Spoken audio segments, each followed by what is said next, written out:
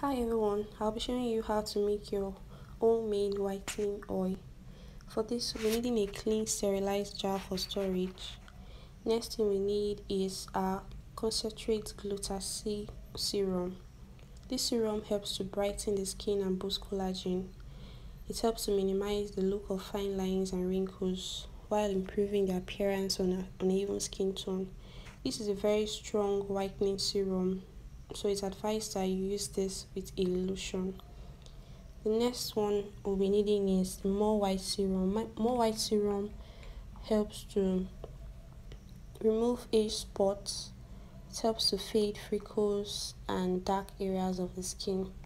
Next is our Veet Gold serum. Veet Gold serum is a strong whitening serum that's used for removing black spots, age spots, sunburn. And the next one is an alpha arbutin serum. Alpha arbutin helps to reduce pigmentation and dark spots. It helps with skin brightening. It's gentle on the skin and also helps to improve skin tone. And lastly, we'll be using sweet almond oil, which will be our base for this whitening oil today. So I'm going to use sweet almond oil for making this whitening oil so what i'm going to do now is i'll pour in a little bit of sweet almond oil as our base oil